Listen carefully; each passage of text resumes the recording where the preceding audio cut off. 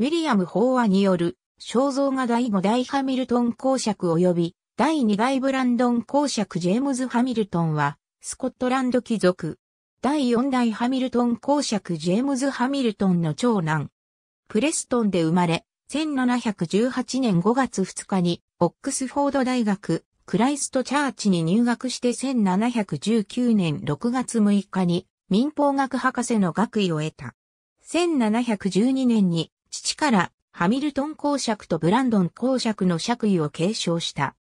1723年、ジャコバイト宮廷からガーター勲章を授与されたが、イギリス在住だったため授与は秘密裏になされた。同年にイギリス本国の宮廷から失する勲章を授与された。1736年4月8日、王立教会フェローに選出された。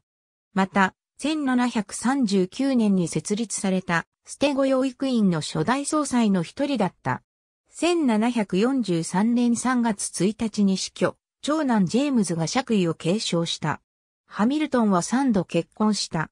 1723年、第4代ダンドナルド伯爵ジョン・コクランの娘アンと結婚、一男を設けた。アンは息子を出産した1ヶ月後に死去した。ハミルトンはトマス・ストラング・ウェイスの娘エリザベスと再婚したが、二人の間に子女はいなかった。1737年、ハミルトンはエドワード・スペンサーの娘アンと再婚に男一条を設けた。ありがとうございます。